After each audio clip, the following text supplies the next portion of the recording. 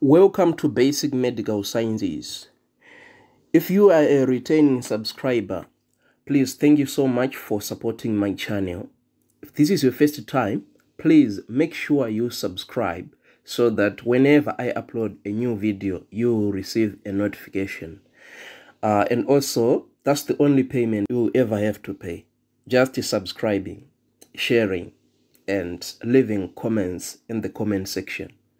Right, so let's continue with our uh, gram-negative enterics. Right, so uh, the first video, if you click the link on the top right corner, we covered uh, E. coli. Right, so in this video, we are talking about Klebsiella pneumonia and we are basically focusing on high yield points. Right, so one slide will be enough and I'm going to tell you everything that you see in the exam uh, concerning Klebsiella pneumonia, right? Klebsiella pneumonia is a gram-negative intestinal flora that causes pneumonia, right? So uh, the key point is a normal flora, part of normal flora, right? Uh, this enteric is encapsulated, so it is a capsule, that's all antigen, but it's non-motile it has no H antigen. It's non-motile. It doesn't have a flagella. Klebsiella pneumonia uh, sprawls hospitals causing sepsis, right? Uh, so this is the second most common after E. coli. So number one cause of gram-negative uh, sepsis is E. coli. Number two is Klebsiella, right? They are following each other uh, remember I, I told you like how to classify uh, uh, enterics, right? So the first point was about uh, lactose fermentation, and I told you that uh, E. coli, it ferments lactose, and it does that very fast. And guess what?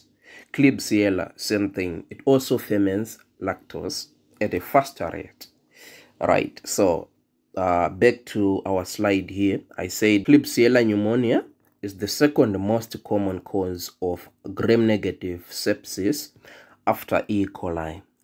Right. It also causes urinary tract infections in hospitalized patients with Foley catheters.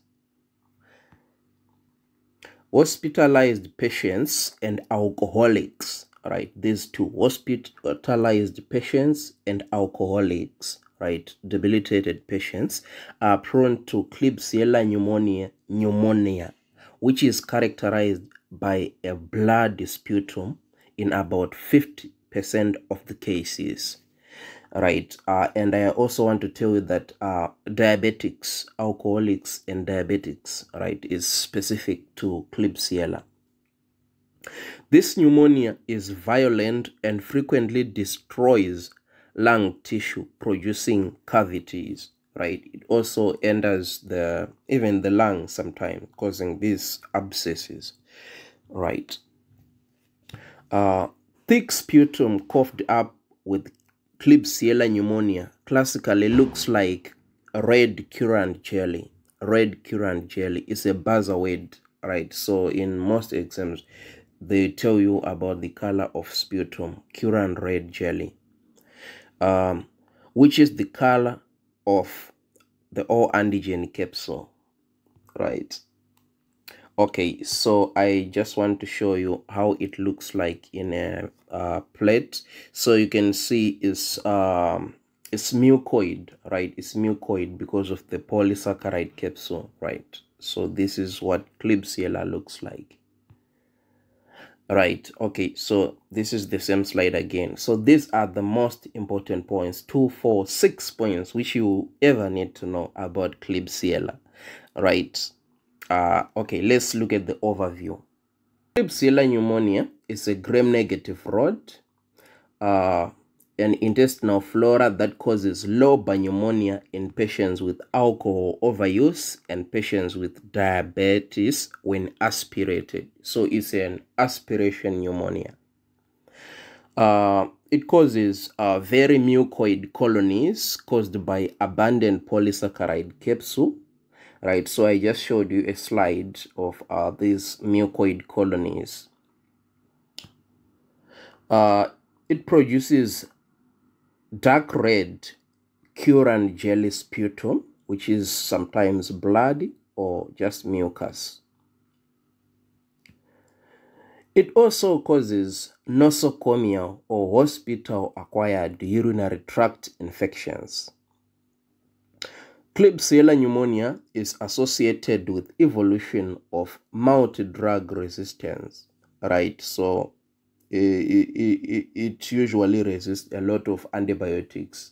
So like uh, mortality is very high, right? Okay, before that, uh, I just want to tell you like the most commonly used uh, drugs, right? So the most commonly used third generation cephalosporins and uh, ciprofloxacin right so mortality rate is high despite antibiotic therapy. Why? Because of this mdr right? Amount drug resistance. Right. So if you look here there is uh, a mnemonic uh, to remember most of the characteristics of uh, klebsiella right? So it's called a, B, C, D, E's of Klebsiella.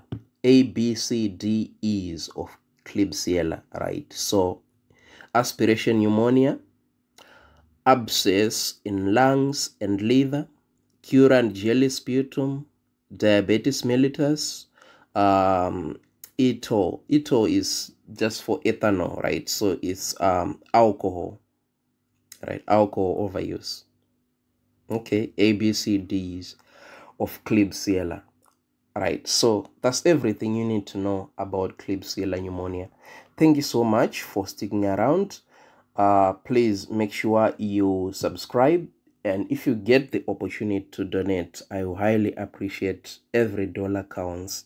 Check in the comment section you will see a link to paypal. Uh even if you uh, they, they, there is uh, an option to pay at least a dollar per month.